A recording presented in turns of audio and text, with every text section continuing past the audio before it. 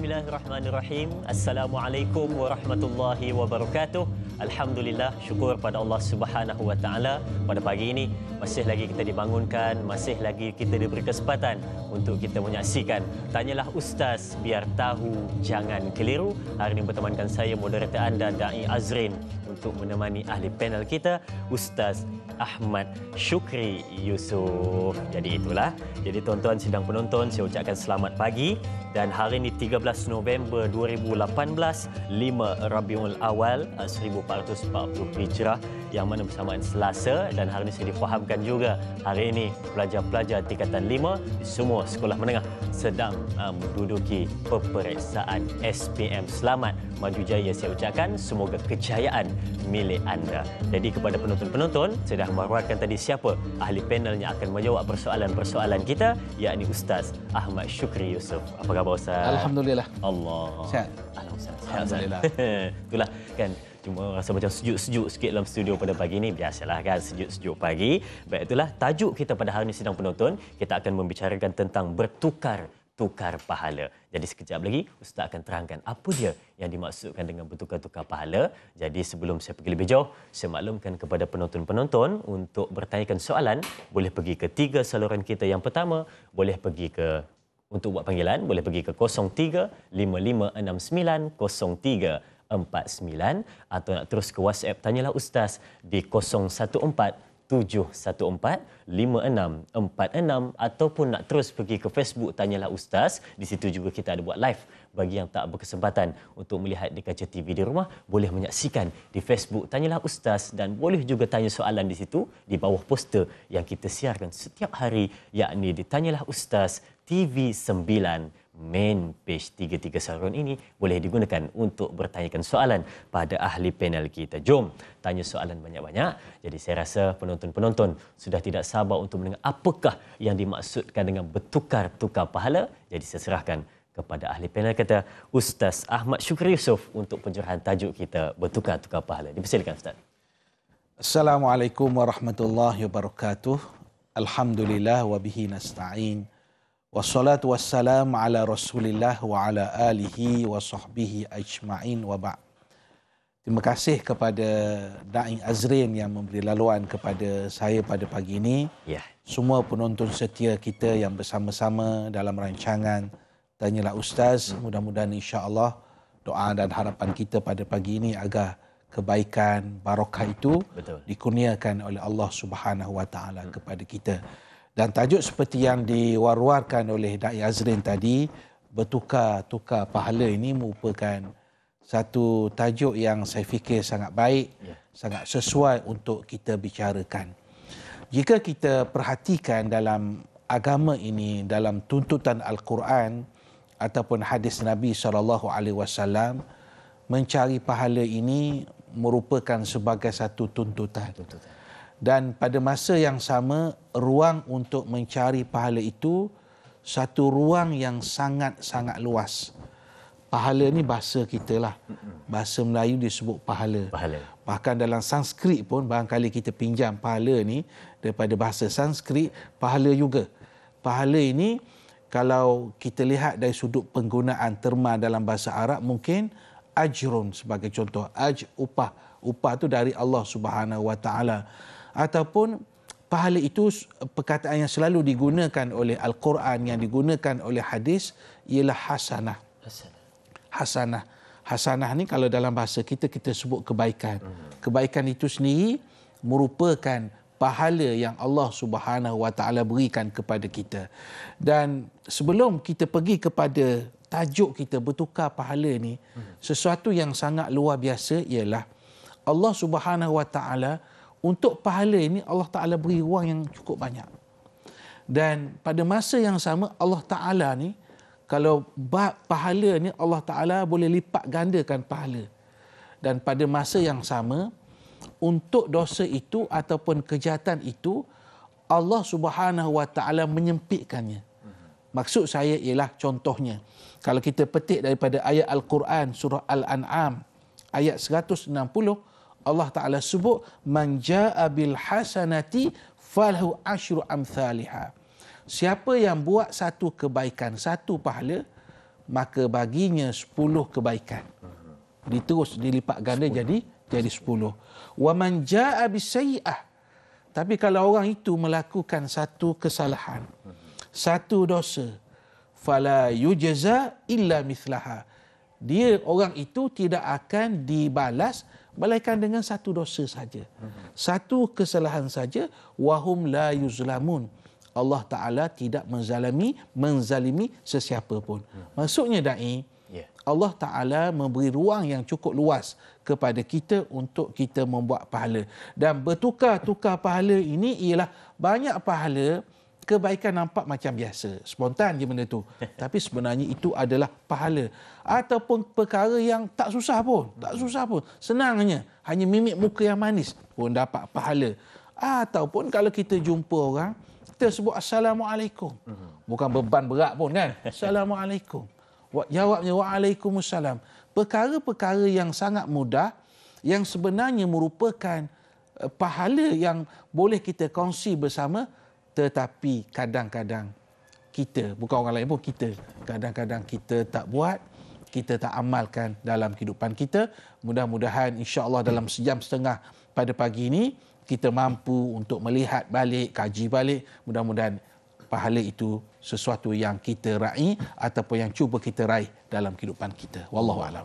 Itu dia tadi mukadimah daripada Ustaz sebentar tadi untuk membincangkan tentang tajuk bertukar-tukar pahala yang mana Ustaz beritahu pada kita ah, benda yang mana ringan, mudah untuk kita buat tapi kadang-kadang kita yang tak nampak kebaikan itu jarang-jarang kita buat. Kadang-kadang kita nak selesaikan. Baik, terus jom kita tengok soalan yang pertama untuk hari ini dari sahabat kita di Facebook yakni Siti Amnah. Mhm. Assalamualaikum Ustaz dan Da'i. Boleh Ustaz bezakan bertukar-tukar pahala dan memberi pahala? Aha, terima kasih. Assalamualaikum Waalaikumsalam. Terima kasih juga kepada Siti Amnah yang bertanyakan soalan ini. Jadi bagaimana Ustaz katanya beza bertukar-tukar pahala dengan memberi pahala? Baik, yang boleh memberi pahala ialah Allah Subhanahu Wa Taala pasti sekali yang boleh memberi pahala. Bertukar-tukar pahala ini ialah saya dengan Azrin sebagai contoh. Kalau saya senyum pada Azrin, Ya.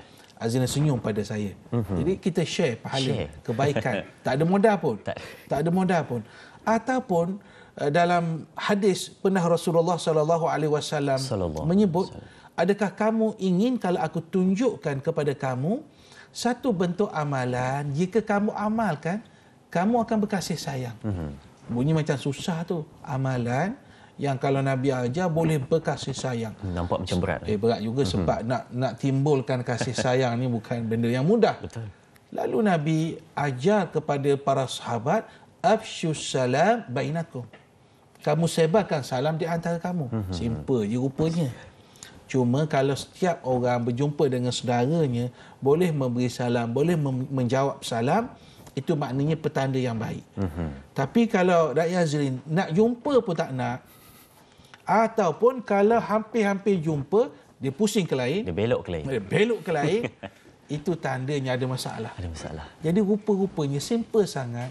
Sebut sebarkan salam itu pertama pahala, yang keduanya ialah boleh menimbulkan kasih sayang antara satu sama lain. Dan itulah yang kita maksudkan perbincangan kita bertukar-tukar pahala pada pagi ini. Mm-mm, itu dia tadi pencerahan ni Ustaz untuk soalan yang pertama. Apakah beza dengan bertukar-tukar pahala dan juga memberi pahala? Memberi pahala kata Ustaz itu hanyalah hak Allah Subhanahu Wa Taala. Bertukar-tukar pahala itu kita sesama manusia. Baik kita ada pemanggil di talian Assalamualaikum. Waalaikumsalam warahmatullahi wabarakatuh. ya siapa di sana? Saya Siti Rohani dari Banting, Selangor. ah puan Siti Rohani. Ya teruskan soalan puan. Ah, dengan tajuk bertukar-tukar pahala bertukar-tukar pahala. ya Assalamualaikum Ustaz Danai. Waalaikumsalam warahmatullahi ya puan Ah, ini memang baguslah soalan ini. mhm Ah, ah, ya, kebanyakan pada bulan Ramadan, ya bulan puasa. ya Ah, kita nak cari pahala besar lah ya. Mhm. Kita menghantar juadah kepada kawan-kawan kita, jiran-jiran kita. Kita tidak minta balasan. mhm Ah, sebab ini untuk di berbuka puasa. Tapi suatu hari nanti, hari yang lain, dia pula menghantar ki- kita juadah. Mhm Jadi itulah yang dikatakan uh, bala apa namanya bertukar-tukar pahala Ustaz. Ya. Itu aja soalan saya Ustaz. Assalamualaikum warahmatullahi wabarakatuh. Waalaikumsalam warahmatullahi Terima kasih Puan Nuhani dari Banting Selangor yang bertanyakan soalan. Uh, katanya dia buat contoh tadi uh, ketika mana bulan Ramadan katanya ya. Yeah. Bertukar-tukar juada, orang ni hantar hari ni, esok pula orang ni balas. Adakah hmm. itu pun dikatakan sebagai bertukar-tukar pahala Ustaz? Baik, bila uh, sahabat uh, penonton kita bertanya begitu saya teringat di antara perkara yang awal ataupun uh, perkataan ataupun ucapan awal Nabi kita sallallahu alaihi wasallam bila masuk ke Madinah pada hari hijrah Nabi sallallahu alaihi wasallam. Mhm. Ini dicerita oleh uh, Abdullah ibnu Salam. Yeah. Abdullah ibnu Salam ni dia seorang Yahudi dan dia nak tahu betul ke Nabi ini Nabi. Ha, dia kata kenapa orang Madinah pakat tunggu belaka. Dia pun tunggu juga Abdullah ibnu Salam ni. Yeah. Jadi Abdullah bin Salam kata bila Nabi masuk saja ke bumi Madinah, Madinah. Nabi pun beri ucapan. Biasalah mm-hmm. kan. Yeah. Kalau jumpa rakyat, jumpa dia akan beri ucapan. Jadi perkara yang pertama yang Nabi sebut bila masuk ke Madinah ialah Nabi menyebut uh, ya ayuhan nas, wahai manusia. Afshus salam. Hendaklah kamu sebarkan salam. Wa at'imut ta'am, kamu beri makan kepada orang lain. Mm-hmm. Wasilu bil arham, kamu kamu hubungkan hubungan silaturahim. Kemudiannya Nabi sallallahu alaihi wasallam menyatakan wasallu bil laili wan nasu niyamun tadkhulul jannata bisalam. Yang keempatnya ialah kamu solat pada waktu malam ketika manusia tidur maka kamu akan masuk dalam syurga dengan sejahtera. Masya-Allah. Nabi beritahu ataupun menyatakan perkara-perkara asas yang mudah yang boleh buat pahala dan pada masa yang sama boleh membina hubungan kita dengan manusia dan hubungan kita dengan Allah, Subhanahu wa taala. Yang pertama afsyu salam saya bakal salam kita dah sebut tadi. Yang kedua at'imut ta'am. Beri orang makan. Ia dalam konteks ini ialah menolong orang lain supaya orang yang tak ada makanan itu diberi makan. Uh-huh. Tetapi dalam perbincangan kita juga ialah apa kiranya kita bertukar-tukar juadah tadi. Betul beri kepada jiran kita. Bila bertukar juadah, masuk tukar juadah ni kita tak boleh ambil kita kata uh, sama ataupun level yang sama. Maksud saya mungkin yang makanan A, si A ni agak mahal. Yeah. Makanan B ni ialah kehidupannya uh agak berbeza, simple sahaja. Maksudnya orang yang kaya pun dapat merasa makanan orang yang tak berapa senang ni. Mm-hmm. Maknanya dia dapat merasakan oh, maknanya begini makanan dia. Kemudian orang yang susah dapat pula merasakan makanan orang yang senang. Senang nampak di situ. Betul. Tetapi kadang-kadang yang tak apa kena ni. Kadang-kadang kita nak banding pula. Itu masalah juga.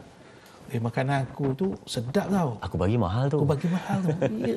Apa kalau yang kopok je. Ah, contohnya kopok je. Aku bagi ni western punya makanan. Kita tak boleh buat perbandingan begitu. Sebab tujuannya macam saya sebutkan tadi, kita nak berkongsi pahala. Jadi tak kira apa makanan pun. Sebab bila bertukar saja, bertemu saja itu, kalau pinggan kita dat- pergi ke rumah dia, pinggan rumah dia datang ke rumah kita, dia akan timbulkan mahabbah, dia akan timbulkan kasih sayang. Kemudian kata Nabi, wasilu bil arham. Kamu bina hubungan silaturahim. Jangan pecahkan hubungan silaturahim. Yang keempat, kamu solat pada waktu malam dalam keadaan manusia tidur. Maknanya qiyamul lail lah. Qiyam. Kamu akan masuk dalam syurga dengan sejahtera. Dalam empat perkara tu Datuk Azrin. Ya saya. Tiga tu hubungan kita sesama kita. Mhm. Bisalam, salam, makan. Makan. Sambung uh, silaturahim. Silaturahim. Mm-hmm. Yang keempat barulah solat pada waktu malam.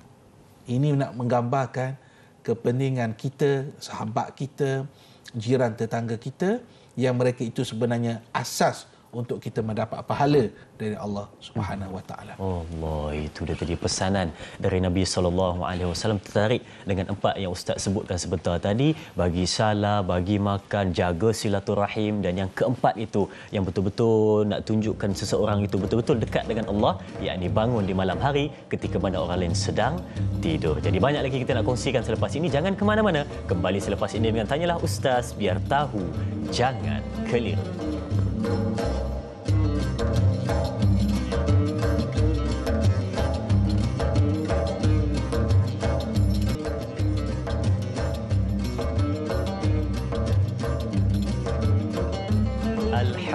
Alhamdulillah bertemu kembali setelah kita berehat seketika untuk kita meredakan uh, debaran-debaran di menantikan uh, persoalan-persoalan yang seterusnya. Bagi penonton-penonton yang baru menonton Tanyalah Ustaz pada pagi ini saya maklumkan tajuk kita berkenaan dengan bertukar-tukar pahala. Dan bagi penonton yang nak bertanyakan soalan boleh pergi ke tiga tiga saluran kita. Yang pertama untuk buat panggilan boleh pergi ke 03 5569 0349 atau nak WhatsApp di talian 014 714-5646 atau nak terus pergi ke Facebook Tanyalah Ustaz di Tanyalah Ustaz TV9 main page. Jom, tanya soalan banyak-banyak, kita nak jawab sebaik mungkin. Baik, jom terus kita pergi kepada soalan yang seterusnya dari Facebook sahabat kita Nur Azara. Assalamualaikum Ustaz dan Da'i. Moga dalam rahmat dan redha Allah Subhanahu Wa Taala. Amin. Terima kasih mendoakan. Ustaz, adakah dengan mengajarkan sesuatu ilmu kepada orang lain, kemudian orang tersebut mengamalkannya dan kemudian dia mengajarkan pula kepada orang lain, dimaksudkan bertukar-tukar pahala? Mohon pencerahan Ustaz. Terima kasih. Terima kasih Nur Azara yang bertanyakan soalan ini. Jadi bagaimana Ustaz? Mengajarkan ilmu kepada orang lain. Silakan. Inilah yang kita katakan bahawa sistem MLM dalam berkongsi pahala. MLM saya? MLM. pahala ni dia sesuatu yang boleh kita kongsi dan pada masa yang sama boleh dipanjangkan. Uh-huh. Justru itu kalau kita lihat uh, perkara-perkara yang boleh memberi sesuatu faedah yang berterusan kepada yeah. kita di antaranya ialah sedekahun jariah. Sedekah jariah. Sedekah jariah. Uh-huh. Kita mungkin dah meninggal 300 tahun dah, 400 tahun dah. Tapi kerana sedekah jariah kita, kerana kita waktu hidup di dunia dulu kita berwakaf, maka pahala itu berterusan. Berjalan. Yang keduanya ialah yang disebut tadi tentang ilmun yuntafa'u bihi. Ilmu yang Bermanfaat. dimanfaatkan. Maknanya mungkin kita ambil contoh guru Quran kita kat kampung.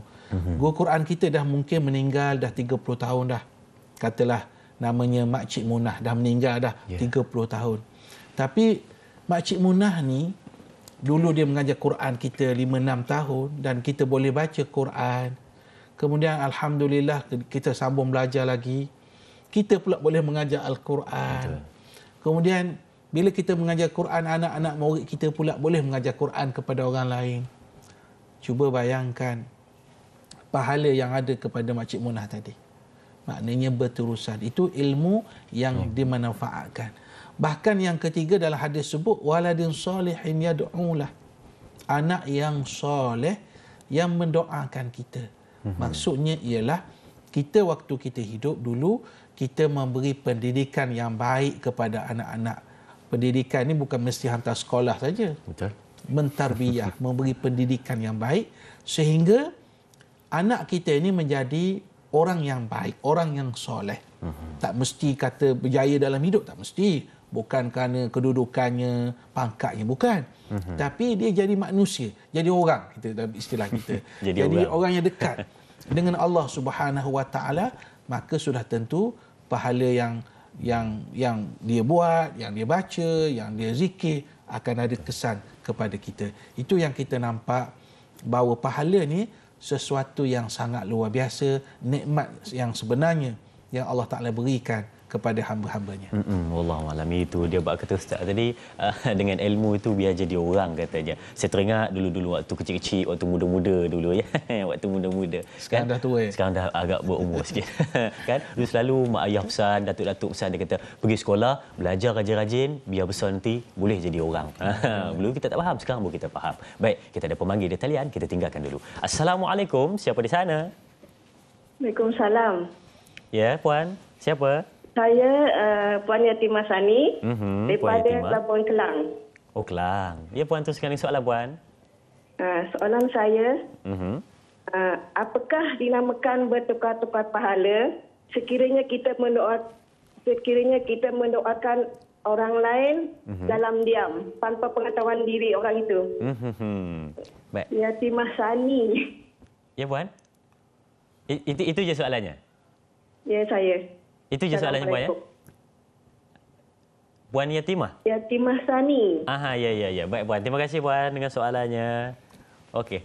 Baik Ustaz, dengan soalan tadi Ustaz katanya uh, orang ini dia mendoakan sahabatnya dalam diam, adakah itu juga dikira sebagai bertukar-tukar pahala Ustaz?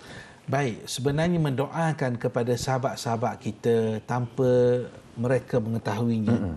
Kalau ada istilah hadis sebut zuhrul ghaib, Yeah. maknanya di, tidak diketahui oleh orang lain merupakan di antara tuntutan. Mm-hmm. Maknanya kita doakan kepada sahabat-sahabat kita.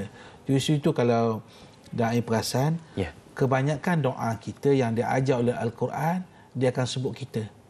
Rabbana atina fid dunya hasanah sebagai contoh. Ya. Uh, kemudian kalau kita uh, Rabbana ghfir lana semua na na na semua kita kita. Kita. Maksudnya ketika kita berdoa itu bukan sekadar untuk diri kita saja. Untuk Bahkan orang untuk orang lain. Itu agama ataupun kita kata Al-Quran ataupun tuntutan hadis mengajar kepada kita. Dan sebenarnya mendoakan uh, secara orang tak tahu ini merupakan tuntutan. Sebab itu kadang-kadang kita mungkin perlu mengucap ribuan terima kasih kepada mm-hmm. kawan-kawan kita, sahabat-sahabat kita. Kita tak tahu pun siapa dia. Betul? Yang mungkin kerana doa mereka kita jadi macam kita ada sekarang. Dia doa dia kata ya Allah aku ada sahabat namanya Azrin, biarlah dia jadi seorang dai yang berjaya contohlah. Allah, ya. Ha, jadi mungkin itu asbab musabab yang berlaku maknanya uh, menggambarkan kepada kata, menggambarkan kepada kita bagaimana konsep berkongsi pahala itu sebagai sesuatu yang perlu ada dalam kehidupan kita. Hmm, hmm, hmm. Kata Ustaz tadi mendoakan dalam diam, doa yang baik-baik lah Betul, Ustaz ya. yang baik-baik lah. Dengan doa yang tak baik pula kan, doa yang tak baik-baik itu tak jadi juga kan. Doa yang baik-baik untuk sahabat kita, untuk ahli keluarga kita dalam diam itu lebih baik. Jadi terus kita ada soalan lagi di Facebook tanyalah Ustaz dari sahabat kita Hana Wan Chi. Assalamualaikum Ustaz dan Dai. Moga dalam rahmat dan redha Allah Subhanahu wa taala. Amin. Terima kasih mendoakan. Soalan saya Ustaz, adakah setiap pasangan saling bantu membantu dalam urusan rumah tangga? Adakah itu juga dimaksudkan bertukar-tukar pahala? Bagaimana untuk kekal cari pahala dalam hidup seseorang? Mohon pencerahan Ustaz. Terima kasih Ustaz dan Dai. Terima kasih juga Puan Hana Wan Cik. Dua soalan saya dapat di situ. Yang pertama, adakah bantu membantu dalam urusan rumah tangga itu dikatakan bertukar-tukar pahala? Dan yang kedua, bagaimana untuk kekal cari pahala dalam kehidupan? Dipersilakan Ustaz. Baik, dua. yang pertamanya Allah Subhanahu Wa Taala sentiasa menyeru kepada ketua keluarga wa'ashiruhunna bil ma'ruf. Hendaklah muasyarah, hendaklah bergaul, hendaklah melayan mereka ini isteri-isteri ini dengan ma'ruf. Ma'ruf tu dengan Baik. cara yang baik. Jadi kalau persoalan tanya adakah uh, membantu isteri meringankan beban isteri itu sebagai satu tuntutan? Jawapannya ya. Ya. Betul, benar, tepat sekali dan itulah yang ditunjukkan oleh Rasulullah sallallahu alaihi wasallam dalam kehidupan baginda kita melihat bagaimana baginda meringankan beban yang ada kepada isteri-isteri baginda. Dan sebenarnya dalam keluarga ini, dalam hubungan suami isteri ini sebenarnya di situ banyak ruang untuk berkongsi pahala. Banyak sekali perkara-perkara yang boleh kita buat untuk berkongsi pahala. Hmm, buat bersama buat bersama sebagai contoh. Ya. ataupun pada masa yang sama kita memberi ke, kegembiraan kepada pasangan kita. Pahala. Betul. suami mengembirakan is- isteri-isteri mengembirakan suami. Pahala. Meredakan kemarahan antara satu sama lain. Pahala. Pendek katanya kalau dalam aspek kerukunan rumah tangga saya fikir di situ banyak sekali ruang-ruang untuk kita berkongsi. Pahala dari Allah Subhanahu Wa Taala. Yang kedua macam mana kita nak jadikan bahawa Kekal cari pahala. kekal kita istiqamah. Dia kalau sekejap ni tak susah, betul tak? Tak Sekejap susah. tak susah. Tak susah. Sebab itu pernah seorang lelaki sahabat Nabi lah Aha. bertemu dengan Rasulullah dia tanya kepada Nabi qulli fil islami qawlan la as'aluhu ahadan ghairak Ya Rasulullah saya nak tanya kepada kamu ni tentang ajaran tentang Islam kalau saya tanya ni saya tanya ni tak perlu saya tanya orang lain. Maka Nabi menjawab qul amantu billah thumma istaqim. Kamu sebut kamu saya beriman kepada Allah kemudian kamu istiqamah. Tetap diri tadilah. Maksudnya ma- macam mana untuk kita tetap di- diri? Kita kena ingat matlamat kita ini sebagai hamba Allah. Tujuannya ialah untuk mengabdikan diri kepada Allah. Itu tujuan utama datang ke dunia ni. Kita yang ada sekarang ni. Saya dai dan semua penonton kita Tujuan matlamat paling besar ialah untuk mengabdikan diri kita kepada Allah. Itu sebenarnya. Yang itu aspek kehidupan begitu begini, itu kehidupan. Tapi yang asasnya ialah untuk kita mengabdikan diri kepada Allah. Dan apa maksud mengabdikan diri kepada Allah? Mencari sebanyak-banyak pahala untuk kita bawa ketika kita berhadapan dengan Allah Subhanahu, Subhanahu wa taala. Wallahu alam itu dia dua pencerahan untuk dua soalan tadi. Terima kasih Ustaz beri kepada kita sedikit tips-tips bagaimana untuk menjamin rumah tangga yang bahagia. Saya belum. Nanti bila dah berumah tangga saya akan praktikkan. Baik. Dan soalan yang kedua tadi cukup cukup baik. Jadi banyak lagi kita nak kongsikan masa mencemburui kita nak berehat seketika. Kembali selepas ini dengan tanyalah ustaz biar tahu jangan keliru jangan ke mana-mana.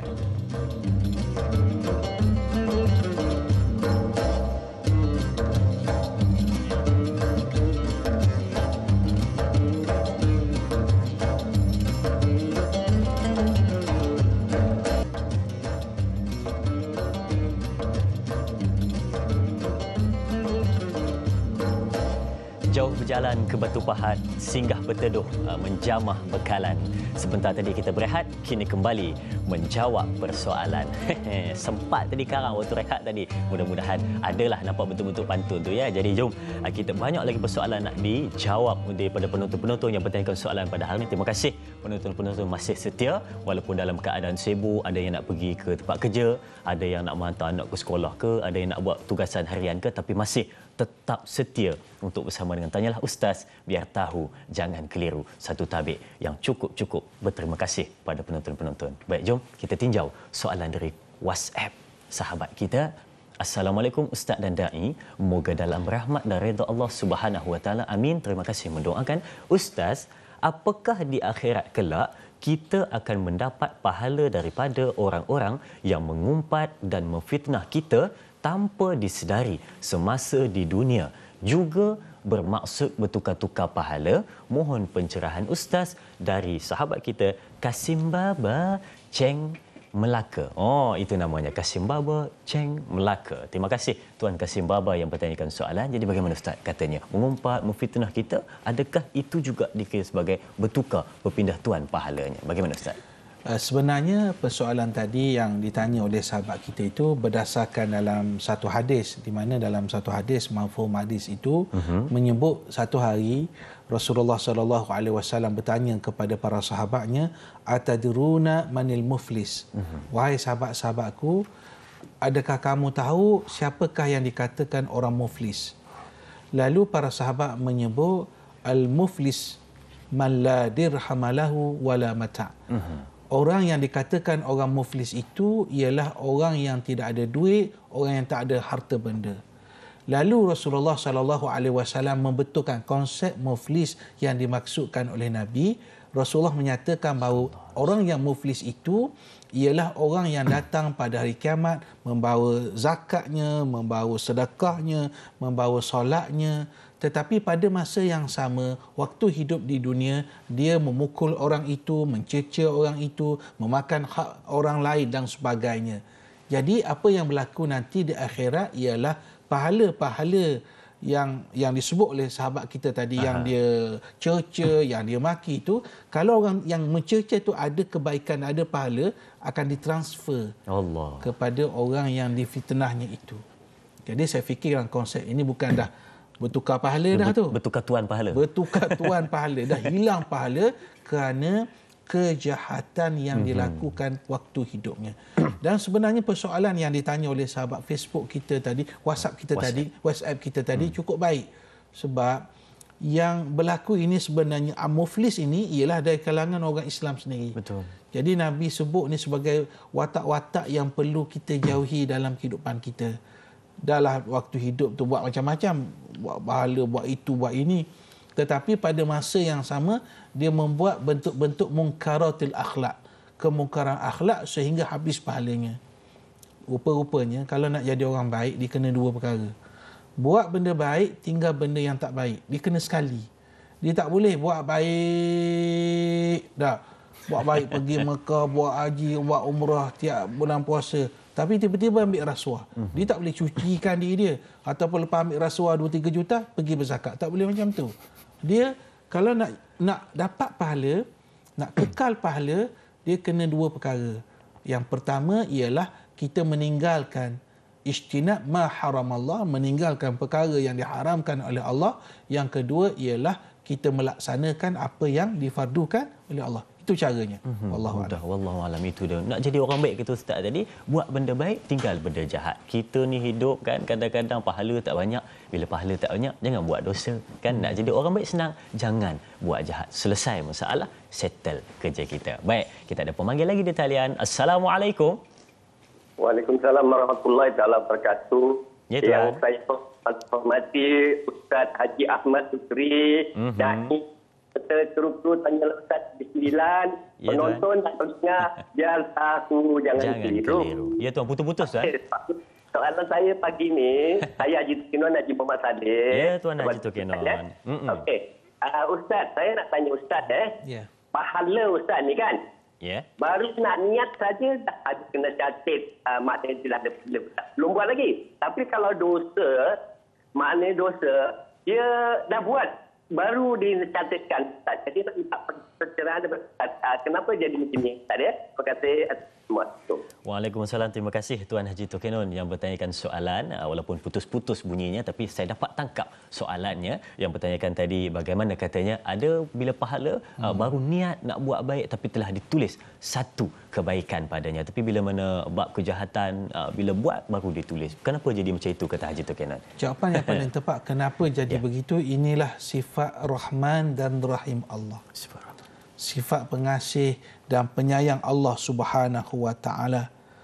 Kerana itu Rasulullah sallallahu alaihi wasallam menyebut inna rabbakum azza wa jalla rahimun.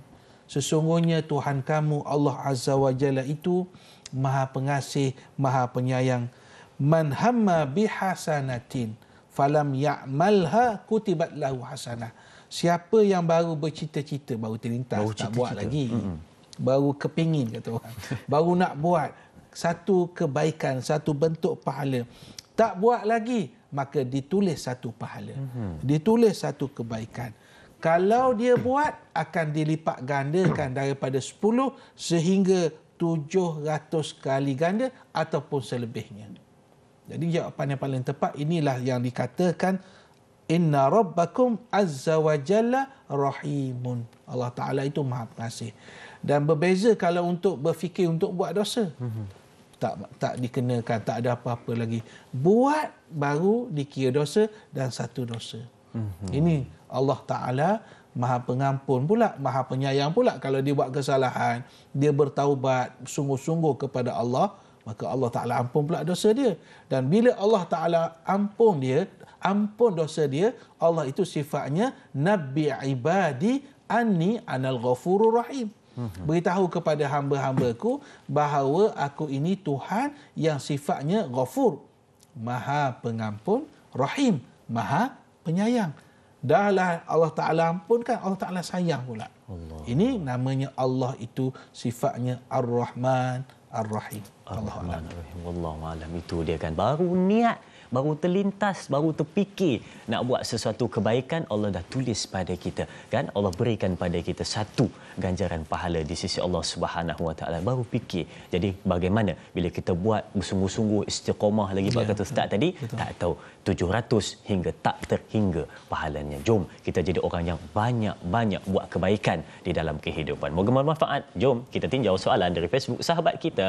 Hmm Razak Aja Assalamualaikum Ustaz, Da'i dan kru tanyalah Ustaz. Bagaimana konsep bertukar-tukar pahala ini dapat dilakukan dalam suasana kita di tempat kerja? Mohon penjelasan Ustaz. Terima kasih. Mm-mm. Terima kasih juga Razak Ajak yang bertanyakan soalan. Bagaimana Ustaz kata bertukar-tukar pahala ni uh, waktu kita di tempat kerja katanya. Adakah caranya? Mm-mm. Di tempat kerja juga Ya. merupakan lubuk untuk kita Lubuk. mencari pahala. Betul. Dan bi- biasanya kalau orang bekerja, kita akan bekerja dalam satu pasukan, satu Mhm. tim.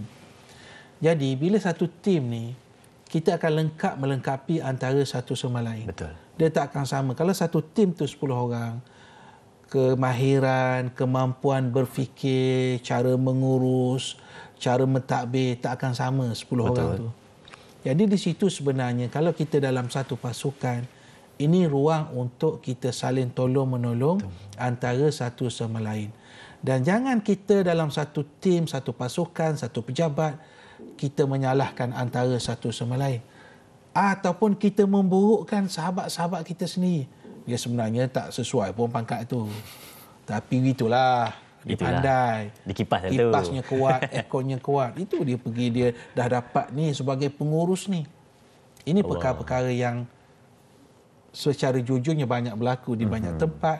Tetapi itu yang kita katakan tajuk yang dibawa oleh TV9 pada pagi ini oleh penerbit kita nak ajak kepada kita kalau di pejabat tu pun sebenarnya banyak ruang yang boleh kita buat pahala. Mhm. Kadang-kadang dalam pejabat pendapatan tak sama. Betul. Dia punya grade pun tak sama daripada sebawah-bawah se- sampai kepada seatas-atasnya.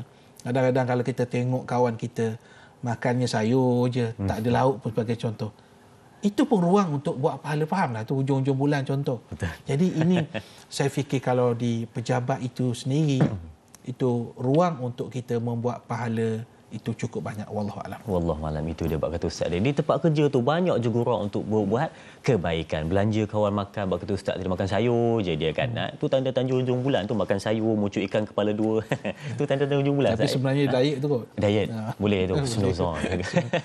Baik kan? Buat di mana-mana saja kita kita berada. Mm-mm. Dari sahabat kita jom kita tengok lagi dari Facebook tanyalah ustaz datangnya soalan ini dari sahabat kita Siti Nurbayah. Hmm. Assalamualaikum ustaz dai dan kru tanyalah ustaz saya ingin bertanya adakah kuota pahala itu bertukar-tukar? Hmm. Sama sahaja atau Allah ta- telah menetapkannya mengikut amalan tertentu? Mohon pencerahan Ustaz. Terima kasih. Ada smiley di hujung. Terima kasih kepada Siti Nurbayah yang bertanyakan soalan ini. Katanya bagaimana Ustaz? Adakah pahala tu dia kata bertukar-tukar ikut keadaan ke, ikut amalan ke macam mana? Ataupun sama je? Bagaimana? Hmm. Dia pahala ni bukan macam data internet.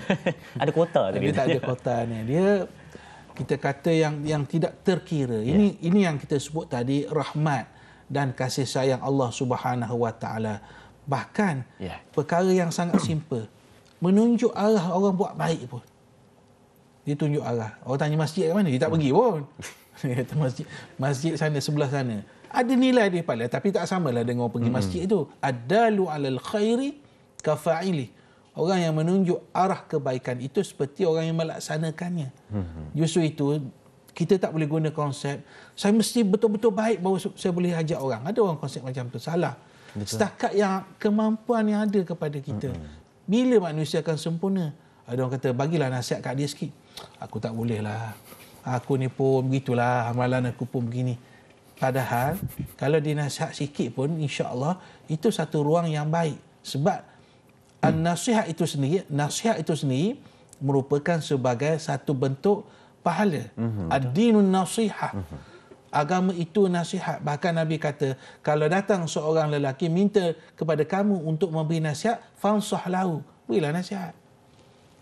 Tapi kita kalau sebut nasihat ni macam berat sikit. Nasihat. Ha, beri pandangan lah. Pandangan. Ha, kalau pandangan okey pula. Maknanya tanpa limit sebenarnya untuk kita berkongsi pahala, membuat pahala dan wujudkan pahala-pahala baru dalam kehidupan Betul. kita. Hmm. Tapi kadang-kadang ada juga yang bila dinasihat dia tak boleh terima. Saya mungkin ada masalah sikit ya. ya. mungkin. Dia kalau hidup ni semua orang yang minta nasihat kita beri nasihat dia terima selesai kehidupan memang begitu Betul. dia yang peliknya dia yang suruh minta nasihat mm eh, kau nasihat kat aku mm. Bila kita beri nasihat dia pula melenting oh pandailah cakap eh tadi kau yang suruh beri nasihat Tadi dia minta. ha, dia terlupa oh. Allah. Baik, Lalai, lalai. Lalai bagaimana tak apalah. Itulah tadi kita renungkan jawapan yang Ustaz berikan kepada kita. Kita nak berehat seketika. Jangan ke mana-mana. Kembali selepas ini dengan Da'i Azrin dan Ustaz Syukri untuk tanyalah Ustaz biar tahu. Jangan keliru.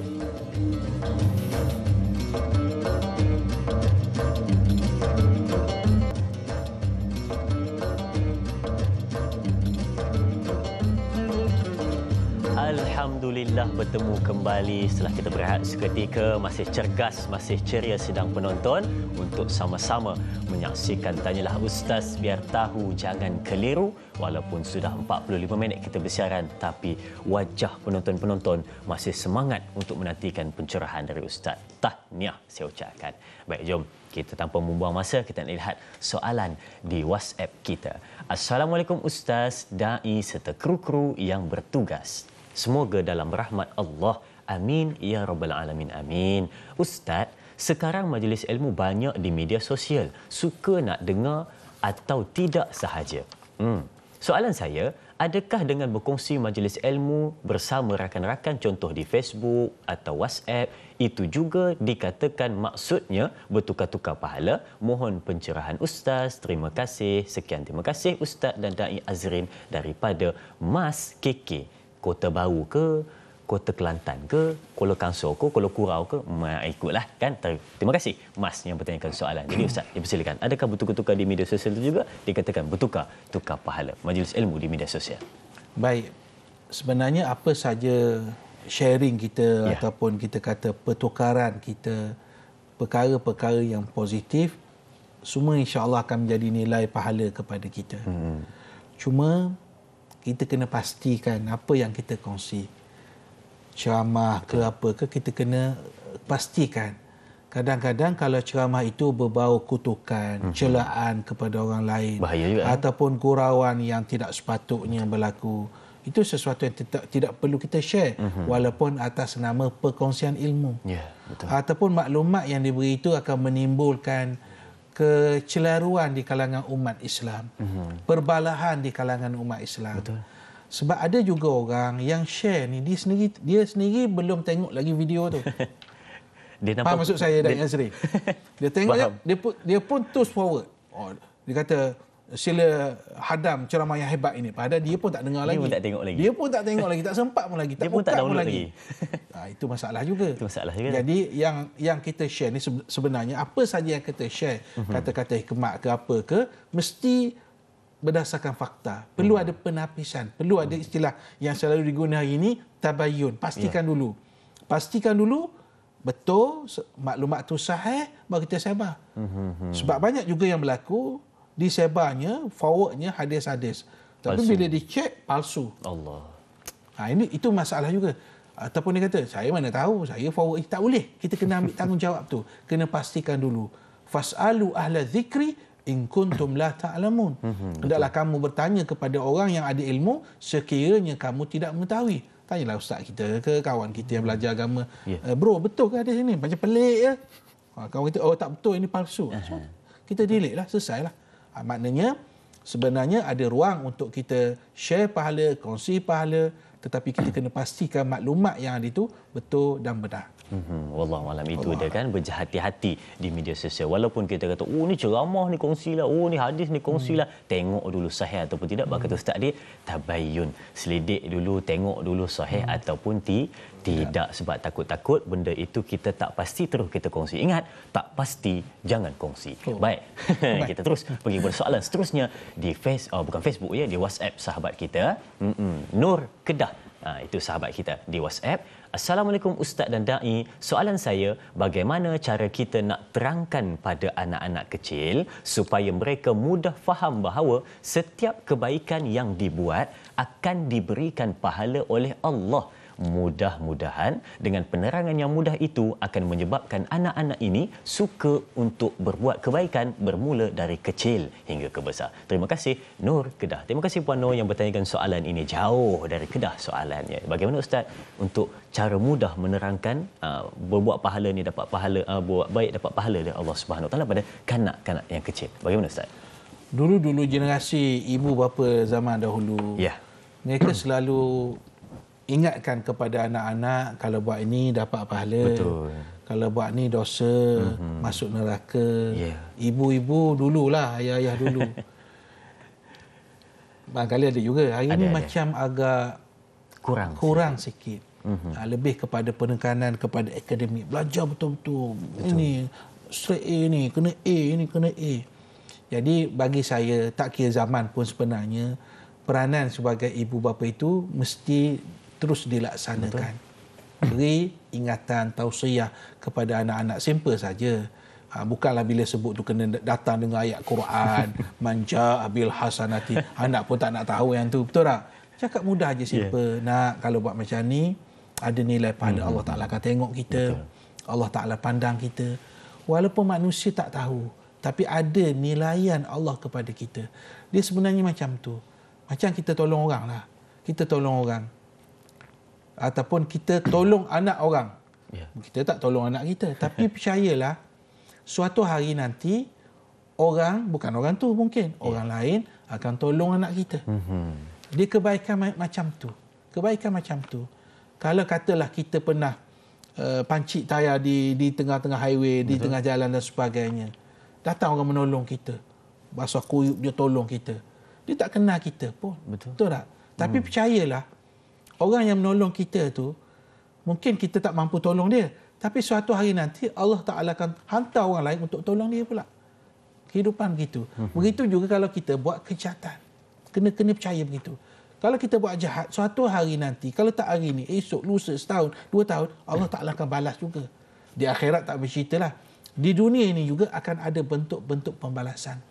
Cuma manusia ni dia tak sedar. Mm-hmm. Dia tak boleh relate. Betul. Oh ini sebab dosa aku ni. Dia, dia, dia tak baca begitu. Berlainan dengan salafus soleh.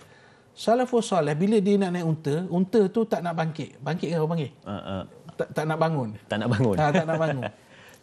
Dia tak salahkan unta tu. Yeah. Dia salahkan dia kata ini mungkin dosa saya kepada Allah sehingga Allah Taala letakkan dalam dalam hati unta, unta ni untuk tak bangkit sebab dosa saya. Ataupun salafus soleh di balik rumah isteri bising pada dia. Uh-huh. Kalau kita isteri bising kita pun bising juga. Tapi salafus soleh bila isteri dia membebel pada dia, uh-huh. dia pun senyap. Dia kata ini mungkin dosa saya kepada Allah. Maknanya salafus soleh sentiasa merelekkan benda-benda itu dengan kesalahan dia muhasabah. Mm-hmm. Kita tak. Kita. Oh tak ada. Oh, kau ajar kata dia. Ha, itu itu yang yang sebenarnya kita nak tarbiyah sebenarnya kita nak didik di kita kita nak jadi insan yang lebih baik insya-Allah. lebih baik insya-Allah. Hmm. Itulah kan relate dengan kehidupan. Oh, mungkin aku ada buat satu benda yang menyebabkan benda Betul. datang pada aku. Betul, Betul, Ustaz kan? Mungkin itu. Kita fikir baik, sangka baik pada Allah, jangan sangka sangka buruk. Baik, kita ada pemanggil di talian. Assalamualaikum.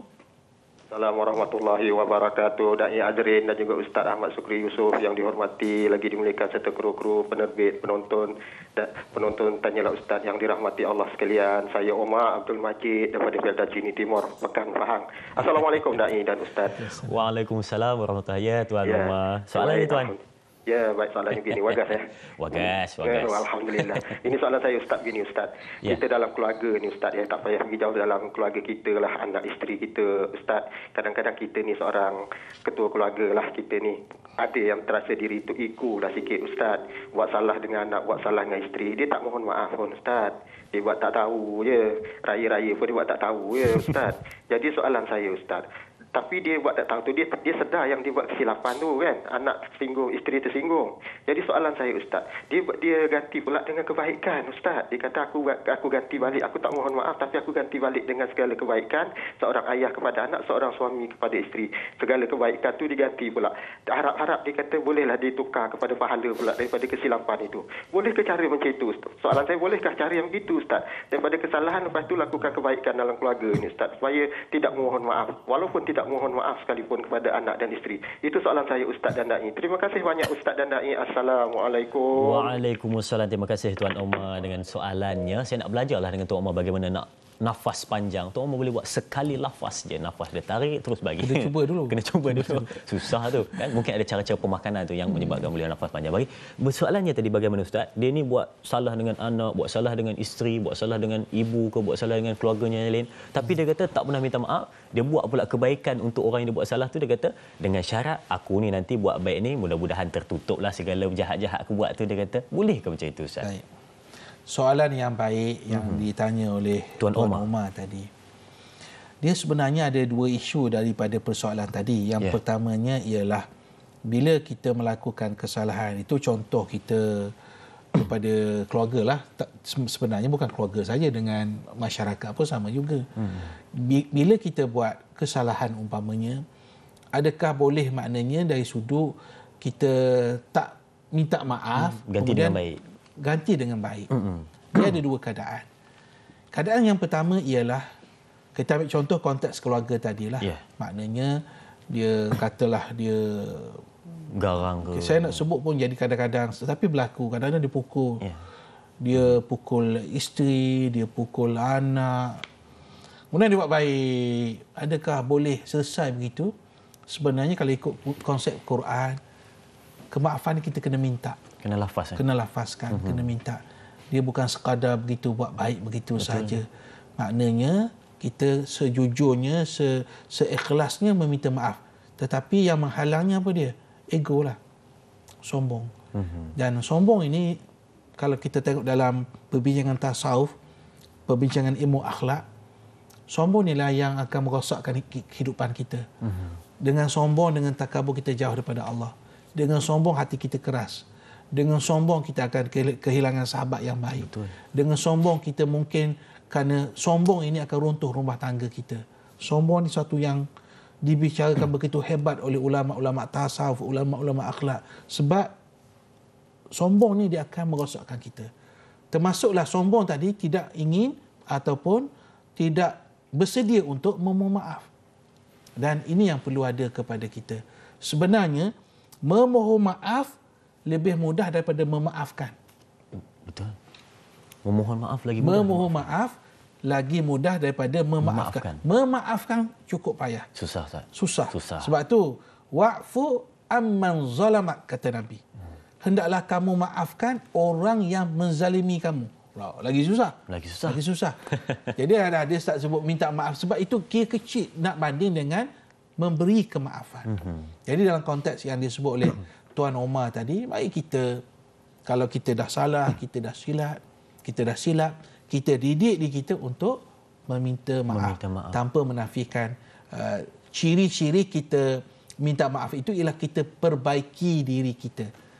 Tapi ada juga minta maaf, minta maaf. Perangai macam tu juga. Ada. Buat balik ya? Buat balik. Hmm, itu Allah. yang kita kena tengok balik. Buat kata Ustaz, ada cantik ayat yang tadi kan. Minta maaf itu lebih mudah daripada memaafkan kesalahan orang. Tambah pula orang tu buat zalim dengan kita. Lagilah susah kita nak maafkan. Tapi didik diri untuk jadi orang yang baik. Disebut dalam Al-Quran surah Ali Imran ayat 134. Orang yang baik itu salah satunya memaafkan orang lain. Jadi kita nak berehat seketika. Jangan ke mana-mana. Kembali selepas ini dengan Tanyalah Ustaz. Biar tahu. Jangan keliru. Ya.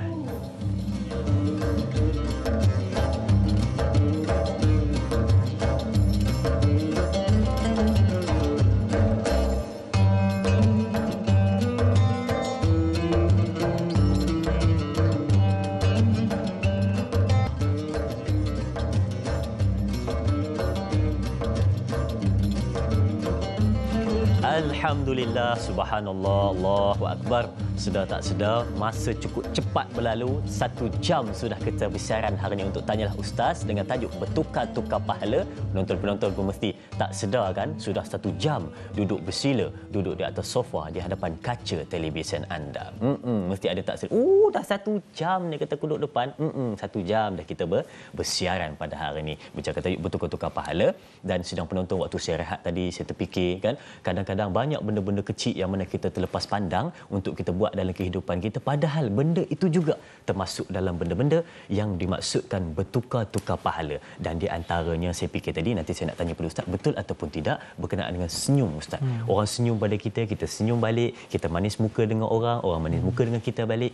Itu pun juga ke ustaz? Hmm. pahala datang betul bertukar-tukar pahala juga ke ustaz? Betul Uh, betul. Betul ya ha, berdasarkan betul. apa yang pernah uh, disebut oleh nabi kita sallallahu alaihi wasallam la tahqiranna minal ma'rufi syai'a jangan kamu remeh-remehkan kebaikan mm-hmm. jangan kamu remeh-remehkan pahala walau antalqa akhaka biwajhin talaq mm-hmm. walaupun kamu bila kamu bersua kamu bertemu dengan saudara kamu dengan wajah yang manis manis jadi persoalan dai tadi itu ada kaitan dengan yeah. apa yang disebut oleh Nabi dan Nabi kata la tahkiranna. Jangan ambil mudah, jangan ambil oh mudah. alah kecil itu. Sebenarnya kecil bagi kita tapi besar di sisi Allah ada nilainya. Pahala yang Allah Subhanahu Wa Taala kurniakan kepada kita. Dan saya perhatikan kalau sebut kongsi pahala ni dari sudut aspek dalam kehidupan kita ni, mungkin kita boleh tengok kalau hubungan kita sesama manusia lah sebab bila kongsi ni kita sesama manusia lah betul ada empat ruang ataupun empat elemen yang barangkali yang boleh saya sebut di sini yang pertama elemen itu ataupun ruang untuk buat pahala itu dari sudut hati hati. Mm-hmm. Itu yang pertama. Yang kedua ialah dari sudut lisan, kata-kata. Yang ketiga dari sudut harta dan yang keempat dari sudut tenaga. Baik, yang pertama ialah kita sebut dari sudut hati. Yang ni tak ada modal pun. Mm-hmm. Contoh kita baik sangka husnuzon. Husnuzon. Dai baik sangka pada saya, mm-hmm. saya baik sangka kepada dai. Ya betul. Tak ada modal pun. Tak ada modal. Tak payah bergerak pun. Mm-mm. Tak payah buat apa pun. Itu yang kita sebut hati kita. Kita baik sangka sesama kita, semua kongsi pahala belaka. Betul. Dai dapat, saya pun dapat. Mm-hmm. Ataupun kita ni lapang dada, berlapang dada. Berlapang dada dalam apa-apa hal pun mm-hmm. kita berlapang dada. So kalau kita sama-sama berlapang dada, kita sama-sama berkongsi pahala. Bertoleransi saya. Bertoleransi. Ataupun kita gembira kalau kawan kita dapat nikmat, kita tidak gembira kalau kawan kita Ditimpa, ditimpa musibah. musibah. Dai sakit, saya rasa Sedih. sedih. Saya rasa kesian. Tiba-tiba dai pada pagi ni lepas rancangan ni hulur kad kat saya. Saya kata hulur kad apa pula dai? Nak kahwin minggu depan contoh. Eh, terkejut tu macam terkejut. Jadi saya pun tumpang gembira. Saya rasa yeah. gembira. Padahal bukan saya kahwin pun. Yeah. Dai yang kahwin tapi saya rasa gembira. Mm-mm. Jadi dai nampak di situ perkara-perkara yang yang dalam hati, dalam pemikiran kita Ya. pun menyebabkan kita berkongsi pahala. Betul. Itu dari sudut hati. Yang kedua ialah dari sudut kata-kata. Lidah. Eh, Itu banyaklah. Banyaklah. Jawab salam, beri salam, Mm-mm. suruh benda baik, nasihat benda baik, doa. Macam sahabat kita kata tadi. Betul. Jadi perkara-perkara ni semua kita saling doa mendoakan antara satu sama lain Sama lain. wasiat ingat mengingat antara satu sama lain. Ini semua nilai pahala. Dari sudut harta pula yang ketiga ialah kita kalau ada kemampuan umpamanya kita berzakat. Betul tak? Betul. Berzakat. Ha, sekarang kalau nak berzakat mudah dah. Mudah. Ha, tulis saja zakat.com.my kita boleh online terus. Sebab ia terus di situ. Ah. Mudah sangat. Tak tak payah bagi kaunter. Tak payah pergi kaunter. Penat pergi kaunter sama parking payah. Tak, kita tengok je zakat.com.my, kita bayar. Boleh situ, kita kira di situ. Ataupun kalau belum kemampuan berzakat, kita bersedekah. Seringgit pun. Hmm, seringgit je. Ha, orang kata satu ringgit tak? Satu seringgit. Seringgit je, nampak macam, eh, seringgit. Boleh beli apa tu dia? Ah, boleh beli apa? Tapi kalau saya bagi RM1, Azlan bagi RM1, Mm-mm. juru kamera kita bagi RM1, penerbit bagi RM1, kru kita bagi RM1. Seribu orang bagi seringgit. Masya Allah. Seribu. Betul. Betul. Maknanya dari dari sudut itu kita nampak kecil tapi kita buat ramai-ramai kita kongsi pahala akan ada impak yang besar. Mm-hmm. Dan yang ketiga ialah dari sudut tenaga, tenaga. Kadang-kadang uh, kita tolong tu kawan kereta kawan kita tak hidup. Mm-hmm. Tak. Uh, kita tolong tolak, Tolong tolak. tenaga. Ada nilai pahala. Betul tak? Betul. Baru ni kita yang di Facebook itulah bagaimana mufti wilayah dia keluar daripada kereta dia dia tolak kereta. Dalam hujan ni. Kalau mufti boleh tolak tengah hujan kan kita yang ha, biasa-biasa dia tak boleh tolong sahabat-sahabat kita. Sebab apa?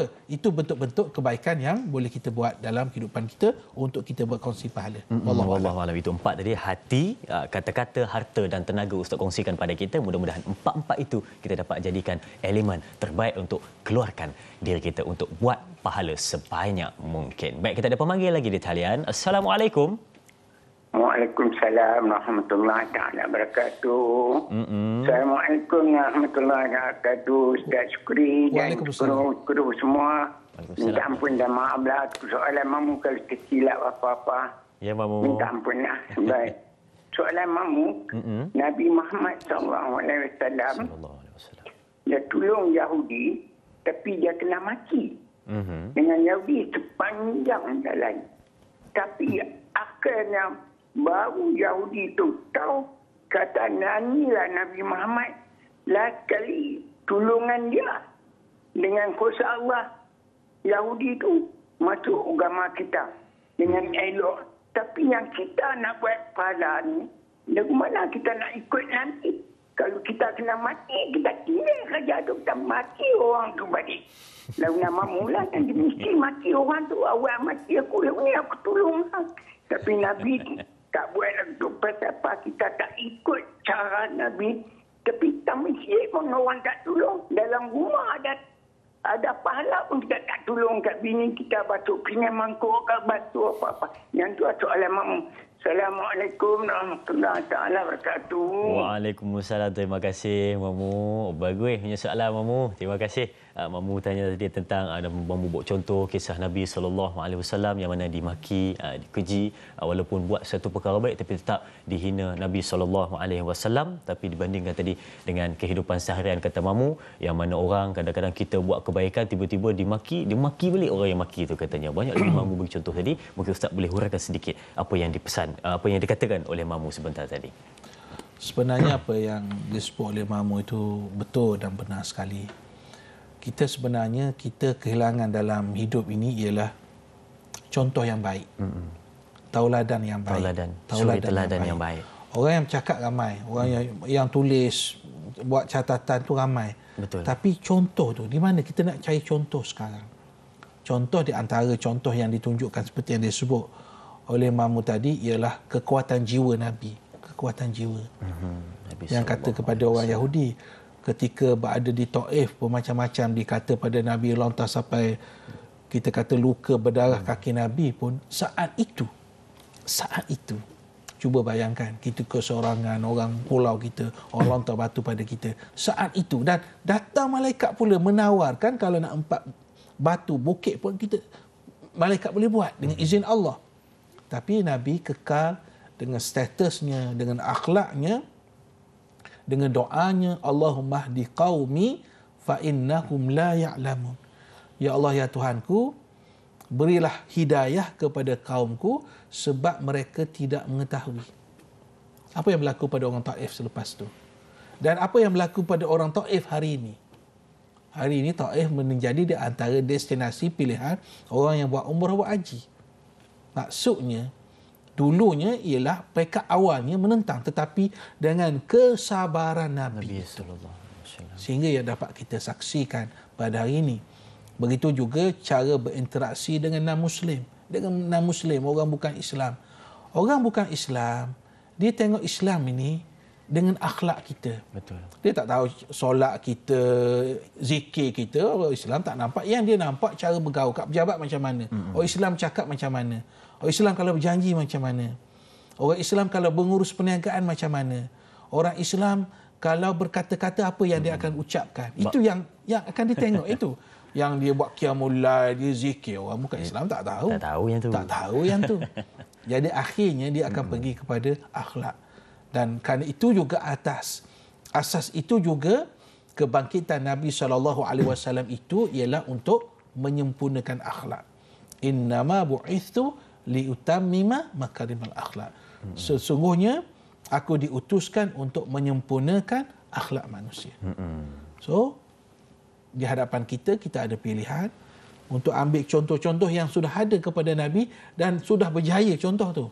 Ataupun kita masih mencari-cari dan saya fikir tidak ada cara melainkan kita kembali kepada apa yang ditunjukkan oleh contoh tauladan yang terbaik oleh Rasulullah sallallahu alaihi wasallam. Allah alam itu dia pencerahan dia Ustaz sebentar tadi berkaitan dengan akhlak. Kadang-kadang bab kata Ustaz tadi, hari ni ramai yang menulis, hari ni ramai yang berkata-kata, tapi suri teladan tu kita nak cari siapakah untuk jadi contoh yang terbaik itu belum susah untuk kita jumpa. Jom jadi orang yang berakhlak. Kadang-kadang muka kita segak, pakaian kita segak, semua segak, tapi akhlak tidak ada, tidak ada makna.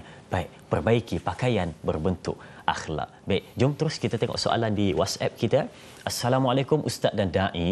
Boleh tak Ustaz huraikan pahala yang kita tahu betapa besarnya contohnya pahala melepaskan anjing tersepit atau mengalihkan halangan ranting di jalan supaya ramai yang mengambil kesempatan mendapatkan pahala tersebut. Sekian terima kasih dari Man Pasir Gudang Johor. Uh, terima kasih Man atas soalan yang ditanyakan sebentar tadi. Bagaimana katanya kan uh, contoh-contoh diberikan melepaskan anjing tersepit, melepaskan binatang tersepit ataupun mengalihkan ranting halangan di pertengahan jalan. Uh, walaupun itu nampak satu benda yang kecil, satu nampak benda yang biasa, tetapi mungkin boleh dijadikan sebagai iktibar untuk kita buat dalam kehidupan kita. Mungkin Ustaz ada huraian untuk itu. Baik, yang pertamanya ialah tentang membuang ranting ataupun sesuatu yang Ya. tidak sesuai berada di jalan raya itu sebenarnya uh, pecahan iman yang Mm. disebut oleh Rasulullah sallallahu alaihi wasallam tentang pecahan iman yang paling tingginya ialah kalimah la ilaha illallah Muhammadur Rasulullah dan yang paling adnaha yang paling kecil ialah imatatul adha anit tariq membuang sesuatu yang menyakitkan di jalan raya. Baik. Maknanya yang nak disebut di sini ialah sebut pecahan iman, pecahan kebaikan tu cukup banyak. Dan Nabi sebut tentang membuang ranting itu satu contoh yang kita nampak biasa. Mm-hmm. Ada orang biarlah kan aku lalu pun. Dia Alah. fikir begitu. Alah. Nanti ada orang alih lah tu. Ah itu yang yang paling ramai. Ah, nanti ada orang alih. Nanti ada lah tu. Masalahnya dah 100 orang fikir begitu. Ranting tu masih berada di hmm. jalan raya. Jadi itu kita kata kedudukan. Dan sebenarnya pahala ni dia dia, dia hebat pahala ni. Kita tak boleh nak faham pahala kedudukan pahala tu betul satu pahala tapi pahala tu macam mana? Maksud saya macam ni. Kalau kita membuang sesuatu yang menyakitkan, kalau tak berlaku apa-apa, okey. Okey. Tapi cuba bayangkan kalau kita tak buang sampai berlaku aksiden sebagai contoh. Mm-hmm. Kita nampak paku dah nampak dah. Nampak dah paku. Hmm, Yalah, tak kena pun. Tiba-tiba lalu satu kereta yang tengah laju, kemudian pancit, kemudian aksiden. Lima orang meninggal dunia. Jadi bagaimana dengan benda yang kecil tadi yang kita tak buat, kita dah tahu benda itu menyakitkan, memberi bahaya, tapi kita tak buat. Maksud saya, kadang-kadang kerana kita membuang sesuatu yang menyakitkan dari- daripada jalan raya itu, sebenarnya kita sudah menyelamatkan nyawa orang lain. Itu maksud saya saya katakan tadi. Dari sudut betul pahala, tapi berapa jumlah itu kita tak tahu. Itu yang datang hadis tadi yang menggambarkan Allah Ta'ala boleh lipatkan satu kebaikan itu sampai 700 kali ganda bahkan lebih. Tengok kepada kesan daripada apa yang kita buat. Baik, yang kedua ialah soal memberi minum kepada Hmm, melepaskan anjing melepaskan tersepit. anjing. Hmm, melepaskan tersepit. anjing, haiwan daripada bahaya ataupun dalam hadis sabit dalam hadis memberi minum uh, anjing yang kehausan. Mhm. Jadi ini cerita-cerita yang Nabi sebut tentang perkara yang berlaku pada zaman Bani Israel pada zaman dahulu di mana orang-orang yang tak baik salah satu kisahnya ialah seorang wanita yang tidak baik wanita yang tidak baik yang terlibat dengan pelacuran disebabkan kerana dia bertaubat juga kepada Allah dan kebaikan yang dibuat Allah Taala selamatkan dia daripada hukuman Allah di akhirat ada nilai pahala di sisi Allah Subhanahu Wa Taala dan juga Nabi nak bayangkan kalau melepaskan anjing yang tersepit, mm-hmm. melepas memberi minum kepada anjing yang sedang haus itu ada nilai pahala. Cuba bayangkan kita melepaskan orang Islam daripada kesusahan. Allah. Kita memberi minum makan kepada orang yang kelaparan. Mm-hmm. Kita memberi beg sekolah kepada orang yang memerlukan. Mm-hmm. Cuba bayangkan kalau anjing pun ada nilai pahala, tolong bantu anjing binatang apatah lagi manusia kita. Mm-mm. Insan, sahabat kita, jiran tetangga kita, masyarakat Islam kita sendiri. Wallahu alam itu dia. Walaupun nampak satu benda itu kecil, walaupun nampak macam Allah tak ada apa sangat kot setakat alih ranting kayu, hmm, hmm. setakat lepaskan binatang. Allah yeah. apa sangat dia kata jangan walaupun sekecil benda, bak kata ustaz, kecil di mata kita tapi besar di sisi Allah Subhanahu wa taala. Banyak lagi kita nak kongsikan. Jangan ke mana-mana, tolong jangan ke mana-mana. Kembali selepas ini dengan tanyalah ustaz biar tahu, jangan keliru.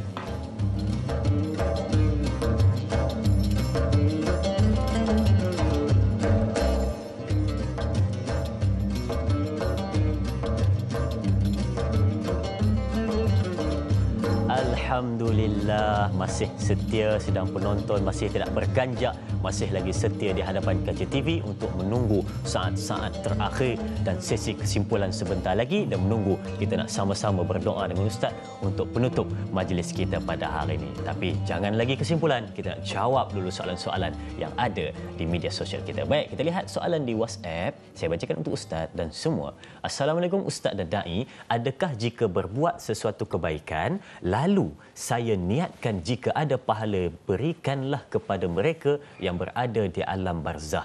Adakah dibolehkan? Dan bagaimana pula orang yang berbuat salah kepada kita? Adakah jika kita memaafkannya adakah ia dianggap bertukar-tukar pahala dari Zaharah Dullah. Terima kasih Zaharah Dullah yang bertanyakan soalan ini. Dua soalan saya dapat baca di situ. Yang pertama, bagaimana jika ada pahala dibuat di atas dunia, ah, pahala apa sekalipun, dia kata, tak apa, pahala ini aku niatkan untuk diberikan kepada mereka yang telah berada di alam sana ataupun aku nak sedekahkan kepada mak aku ke, ayah aku ke yang telah tiada. Boleh ke Ustaz? Dan soalan yang kedua itu, bagaimana jika orang tu buat salah, jika kita dah maafkan, adakah itu juga dikata bertukar-tukar pahala? Bagaimana Ustaz? Baik, soalan yang pertama, Soalan pertama. tentang meniatkan Meniat, pahala. pahala itu sampai kepada orang yang sudah meninggal dunia. Mm-mm. Berlaku perbincangan di kalangan ulama kita saya bahagikan kepada dua pandangan. Yeah. Pandangan yang pertama ialah yang menyebut bahawa segala perkara yang kita hadiahkan, kita niatkan pahala kepada orang yang sudah meninggal dunia tidak sampai. Tak sampai. Tidak sampai disebabkan ialah kerana orang yang meninggal dunia itu sudah terputus segala terputus. amalannya. Selesai urusannya. Uh-huh. Itu pandangan yang pertama. Yeah. Pandangan yang kedua menyebut bahawa sebenarnya apa yang kita buat, kebaikan-kebaikan yang kita buat, kemudian kita niatkan kepada orang yang meninggal dunia, uh-huh. sampai ataupun tidak sampai. Sampai mungkin berbelit sikit yeah. sampai kalau keluarga terdekat ibu ayah kita hmm. kerana berdasarkan kepada hadis Nabi sallallahu alaihi wasallam tadi waladin solihin yad'ulah memang tu putus amal hmm. tetapi kecuali anak yang mendoakan hmm. maksudnya mendoakan di sini ulama kata termasuklah buat kebaikan termasuklah yeah. niat yang baik sedekah pahala dan pecahan yang kedua ini juga kata kalau bukan keluarga tidak sampai. Uh-huh. Saya cenderung wallahu alam saya cenderung kita mudah-mudahan sampai. Itu hak Allah Subhanahu wa taala. Uh-huh. Tetapi kita tak boleh jadikan hujah ni untuk mengubah apa yang sudah ditentukan, ditentukan. oleh Allah Subhanahu wa taala. Uh-huh. Bahasa mudahnya kita harap kita doakan apa yang kita nawaitu kita itu pahala itu sah, sampai. sampai sebab Allah Taala itu maha berkuasa Allah itu maha penyayang Allah itu maha pengasih kalau tidak kalau kalau kalau kita kata tak beri manfaat langsung jadi soalannya berdoa selama itu untuk apa itu itu persoalan Betul. tapi kita hmm. raikan pandangan-pandangan hmm. yang dibuat oleh ulama kita yang kedua apa tadi yang kedua tadi berkaitan dengan uh, orang tu dia buat salah lepas tu kita maafkan hmm. uh, bila kita dah maafkan itu adakah itu juga dikatakan bertukar-tukar pahala Baik, itu saya katakan tadi kalau dalam istilah Quran banyak digunakan memaafkan orang lain ya. wal afina aninas ataupun hadis Nabi wa'fu amman zalamak dan maafkanlah orang-orang yang menzalimi kamu. Mudah-mudahan kalau kita maafkan orang, kita ampunkan kesalahan orang, kita buat baik kepadanya, itu mudah-mudahan ada nilai pahala yang Allah Taala berikan kepada kita. Kerana memaafkan orang lain itu bukan mudah. Betul. Sebab memori kesalahan kejahatan yang dia buat katalah kita terseksa hidup kerana fitnah yang dia buat 10 tahun. Kemudian kita maafkan dia contoh. Mm-hmm. Memori tak boleh hilang. Betul. Ingatan ada orang kata, mana boleh? Ingatan memang betul. Ingatan tak boleh hilang. Dia buat tu kita ingat. Tapi pada masa yang sama kita memaafkan. Kena beza tu. Yang ingat uh, hilangkan memori tu sama macam memaafkan tak sama.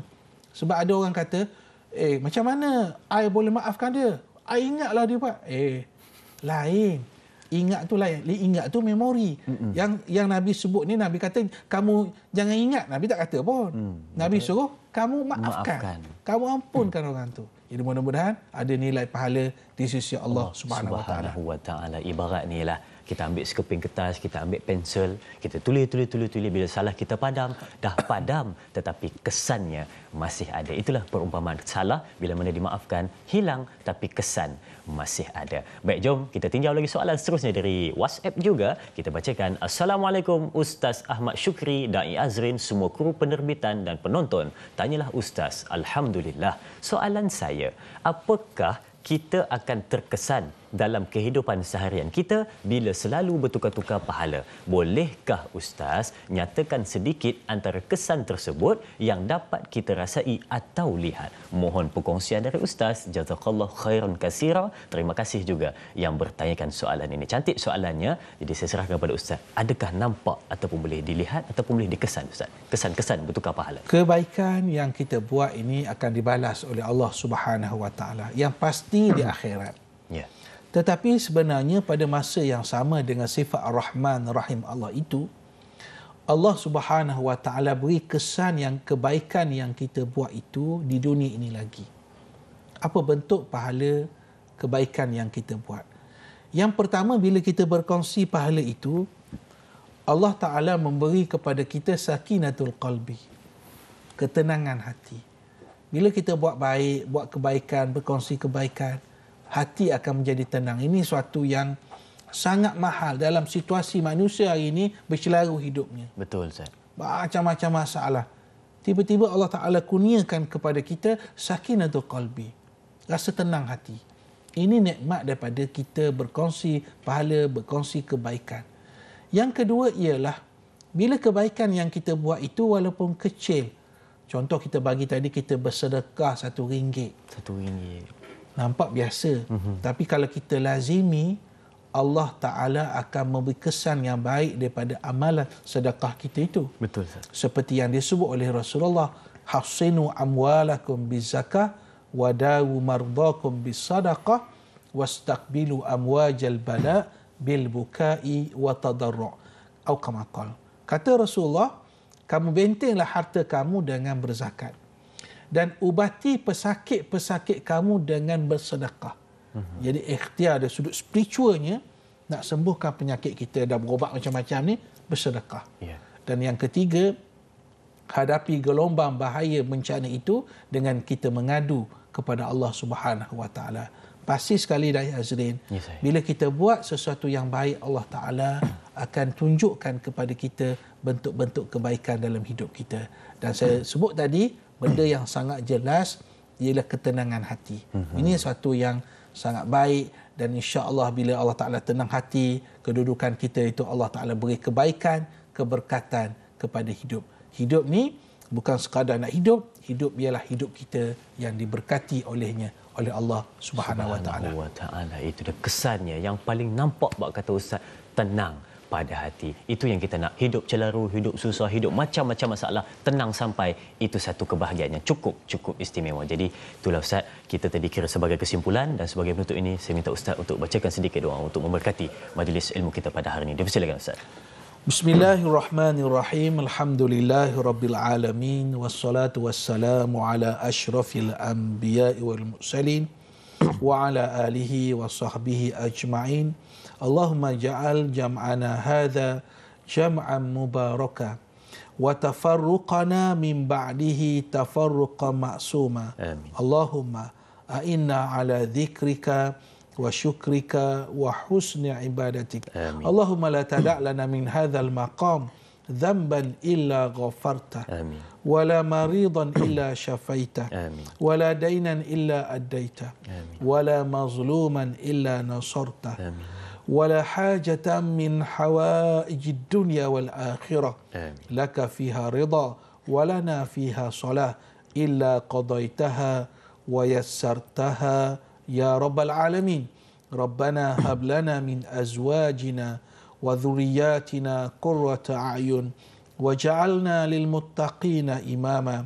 ربنا آتنا في الدنيا حسنة وفي الآخرة حسنة وقنا عذاب النار وصلى الله على سيدنا محمد وعلى آله وصحبه وسلم والحمد لله رب العالمين آمين يا رب العالمين Alhamdulillah terima kasih diucapkan kepada Ustaz atas kesimpulan dan doa sebentar tadi. Dan terima kasih juga saya ucapkan kepada semua kru yang terlibat. Terima kasih kepada penerbit. Terima kasih kepada semua penonton yang sudi setia untuk menonton Tanyalah Ustaz pada hari ini. Dan terima kasih juga kepada Ustaz atas pencerahan yang cukup cukup terbaik Ustaz. Jadi saya minta maaf jika ada terkasar bahasa tersalah bicara. Berjumpa lagi esok untuk Tanyalah Ustaz dengan tajuk yang lebih menarik. Sekian. Assalamualaikum warahmatullahi wabarakatuh. Tanyalah Ustaz biar tahu jangan keliru. Sentiasa mengharap Allah Kuat usaha jujur dan amanah Sentiasa mengharap keredaan